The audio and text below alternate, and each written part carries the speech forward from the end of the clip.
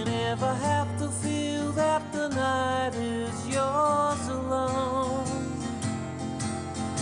Rushing through the stars, captivated by the worlds beyond. How's her mother now? Eh? Oh, Nellie? Oh, don't ask. She's getting worse. A boiler packed up on Saturday. I had to go around and sort the plumber out. Yeah? Oh, she was half cut. 11 o'clock in the morning, this was. Anyway, she makes me a tuna sandwich for me dinner.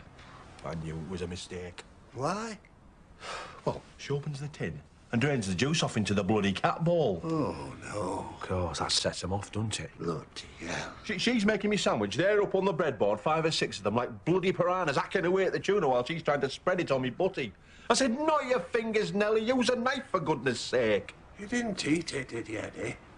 Oh, wish I hadn't, Tommy. Went through me like a Porsche. Dear me. That's the plumber I feel sorry for. He was only a young lad. Yeah, he finishes the job, goes up to the bathroom to check the hot water, and she's sat on the bog with the bloomers round her ankles. Mm.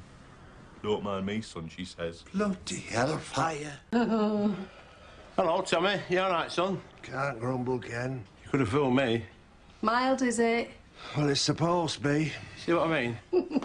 There's nothing wrong with my beer.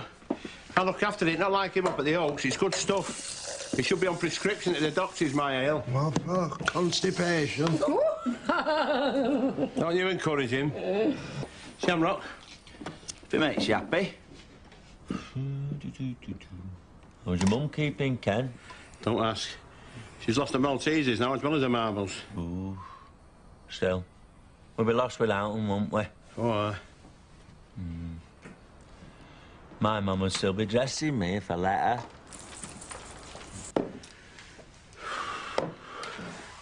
It was 420, Joe.